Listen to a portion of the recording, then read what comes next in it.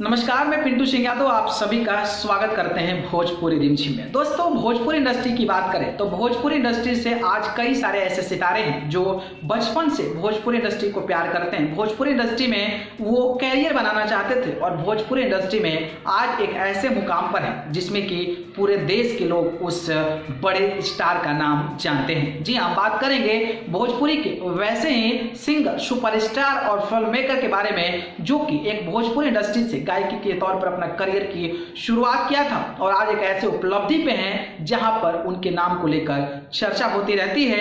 और मैं आज जो स्पेशली बात करने वाला हूँ, वो बात करने वाला हूँ गोरखपुर के सांसद रवि किशन के बारे में कि रवि किशन भोजपुरी के एक ऐसे शख्सियत बन गए हैं या फिर पूरे यूपी के एक ऐसी शख्सियत बन गए हैं कि लोकसभा में सबसे ज़्यादा सवाल पूछे जाने वाले व्यक्ति के तौर पर जाना जा रहा है। और जब लोग उनको सर्च कर रहे हैं कि रवि किशन जी हैं कौन? तो उनका भोजपुरी से जुड़ा रिश्ता सामने आ रहा है, जिसको लेकर भोजपुरी के फैंस भोजपुरी को चाहने वाले और रवि किशन को चाहने वाले लोग जो है, इस चीज़ से काफ़ी ज़्यादा खुश नज़र आ रहे हैं और वही वही सोच रहे हैं कि हमारे भोजपुरी से निकला एक बड़ा सितारा आज गोरखपुर का सांसद है और पूरे देश में, यूपी में, जो कि सबसे बड़ा संसदीय क्षेत्र माना जाता है और वहाँ पर सांसदों की जो जनसंख्या है, वो काफ़ी ज़्यादा है।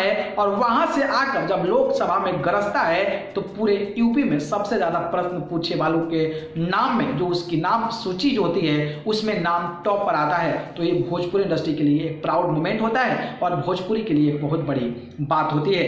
तो पहले स्टार की बात करें तो वो है मनोज तिवारी, जो कि सांसद बने हैं, और वो दिल्ली के लोकसभा, दिल्ली के शायद उत्तरी या दक्षिणी दिल्ली के सांसद हैं वो तो वो दिल्ली के भारतीय जनता पार्टी के सांसद है। तो भोजपुरी की वो सितारे हैं जो कि सांसद बने हुए हैं। तो वहीं दूसरा जो नाम है, वो गोरखपुर से आने वाले रवि किशन का है। और रवि किशन जो है पहली बार सांसद बनकर आए हैं, जबकि मनोज तिवारी दूसरी बार सांसद बनकर आए हैं। लेकिन यूपी की इतनी बड़ी राजनीति, यूपी का इतना बड़ा संसदीय क्षेत्र यूपी के इतने सांसद लगभग अस्सी के करीब में और वहाँ पर एक भोजपुरी से इंडस्ट्री से करियर बनाने वाला व्यक्ति जब एक सांसद बनता है और सांसद बनकर जब लोकसभा में पहुँचता है और जब अपने सवालों का अंबार लगा देता है तो इससे अंदाज़ा लगाया जा सकता है कि वो भोजपुरी का सुपरस्टार अपने काम को लेकर कितना डेडिकेटेड है। हर समस्याओं को सुलझाने के लिए कितना ज़्यादा डेडिकेटेड है और उस समस्याओं को अगर लोकसभा में रख रहा है तो ये एक बहुत बड़ी बात है कि भोजपुरी का एक व्यक्तित्व जो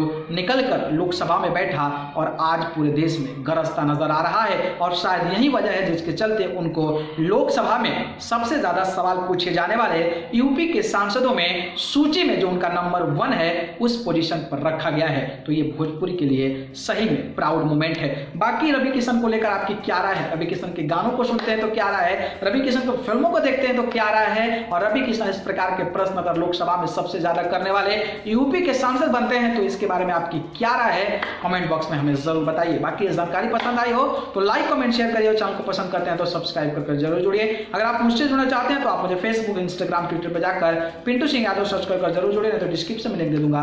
वहाँ से जाकर आप मुझे फॉलो कर सकते हैं। आप सभी को बहुत बहुत धन्यवाद। नमस्कार।